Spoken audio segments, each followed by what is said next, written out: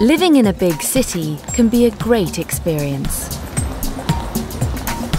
World famous cities like New York, Paris, and London have got amazing architecture.